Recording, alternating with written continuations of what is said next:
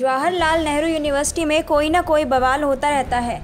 पिछले कुछ दिनों से फ़ीस में बढ़ोतरी को लेकर जेएनयू में बवाल हुआ था, जिसको लेकर एक बार फिर से छात्र बढ़ी हुई फ़ीस को लेकर कैंपस में आंदोलन करते दिखे। दरअसल, आज ही जेएनयू में दीक्षांत समारोह था, जिसमें उपराष्ट्रपति वेंकैया नायडू और केंद्रीय मानव संसाधन मंत्री रमेश पोखरियाल निशंक शामिल होने थे। वहीं छात्रों का कहना है कि बड़ी फ़ीस से उनके सामने उच्च शिक्षा प्राप्त करने में मुश्किलें आ रही हैं। साथ ही छात्रों ने चेतावनी दी है कि जब तक उनकी मांगें पूरी नहीं हो जाती, तब तक वे अपना प्रदर्शन जारी रखेंगे। छात्रों का कहना है कि वो पिछले पंद्रह दिनों से फ़ीस में हुई बढ़ोतरी वापस लेने की मांग कर रहे हैं। जेएनयू में 40 फ़ीसदी ऐसे छात्र हैं जो कि बेहद गरीब घरों से आते हैं। वे बड़ी फ़ीस चुकाकर कैसे पढ़ाई कर पाएँगे? उनके सामने उच्च शिक्षा लेना बड़ी समस्या बन गई है। इसके साथ ही हॉस्टल का सर्विस चार्ज और ड्रेस कोड भी एक बड़ी समस्या है। छात्रों के प्रदर्शन को रोकने के लिए भारी संख्या में सीआरपीएफ और दिल्ली पुलिस के जवान तैनात हैं। प्रदर्शन कर रहे कुछ छात्रों को जवानों ने टांग कर बस में बिठाया।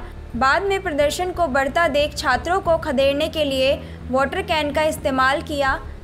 जेएनयू के छात्रों का कहना है कि जब उनकी फ़ीस में कटौती की मांग को स्वीकार नहीं किया जा रहा तो उन्हें दीक्षांत समारोह मंजूर नहीं है।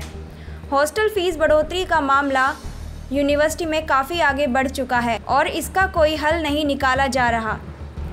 प्रदर्शन कर रहे छात्रों ने दीक्षांत समारोह का बहिष्कार करने के साथ प्रशासन से हॉस्टल ड्राफ्ट मैनुअल और फ़ीस वृद्धि को पहले जैसा करने की मांग की। जेएनयू प्रशासन ने अपने हालिया निर्देशों में छात्रावास, मेस और सुरक्षा फ़ीस में 400 प्रतिशत की वृद्धि की है। इसके साथ ही नए निर्देश में छात्रावास आने जाने की समय सीमा भी सीमित कर दी गई है। छात्रों की मांग है कि हॉस्टल में कोई सर्विस चार्ज ना लिया जाए, ना ही हॉस्टल में कोई ड्रेस कोड लागू किया जाए। इसके अलावा छात्रों की मांग है कि हॉस्टल में आने जाने के टाइम में पाबंदी को खत्म किया जाए। Bureau report, national Dastak. National Dastak की आपसे गुजारिश है कि अगर इसको बचाना चाहते हैं तो नेशनल दस्तक को सब्सक्राइब करने के लिए रेड कलर के सब्सक्राइब बटन को दबाएँ। फिर बेल आइकन की घंटी दबाएँ। नेशनल दस्तक को बचाने के लिए बहुत ज़रूरी है कि हर खबर को शेयर करें लाइक करें कमेंट ज़रूर करें।